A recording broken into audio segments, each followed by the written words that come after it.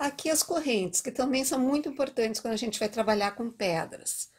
Então aqui eu trouxe vários banhos diferentes. Aqui eu tenho prata, mas também podia ser o banho níquel ou ródio, uh, prata velha, dourado e ouro velho.